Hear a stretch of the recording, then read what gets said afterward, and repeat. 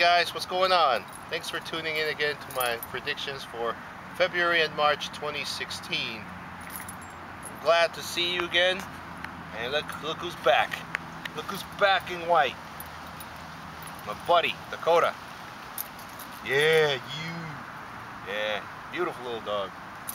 Anywho, it looks like the months coming up are going to be somewhat busy for natural disasters practically continuing an active weather pattern that we started in January. You may have seen how January turned out very stormy for many parts of the world, in particular the United States of America, where they had a lot of snow in the northeast and the mid-Atlantic, and we had some severe weather affecting parts further south. February might be very dangerous for severe weather, especially in southeast U.S., mainly Florida, of all places. Might have, might have to keep an eye on that one as we head into February.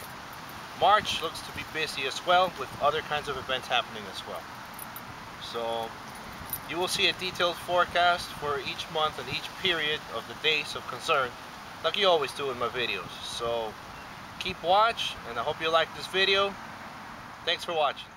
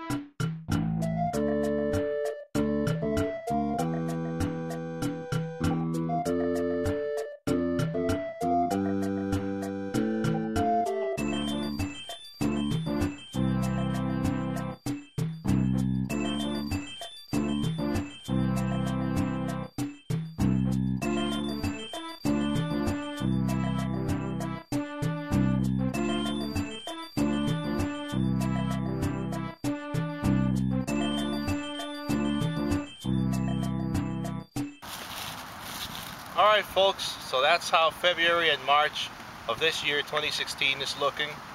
Keep an eye out on the locations I highlighted as the most dangerous for this month and the next month coming up.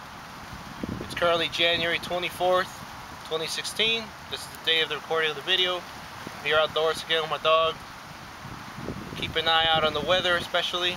We're still in this El Nino weather pattern, which could provoke weird weather all over the world. And a lot of bad weather as well. February in particular, towards the end, might be very dangerous for earthquakes as well. Thanks for watching again. I'll see you next time for April and May of 2016. You guys have a good one. Dakota says bye.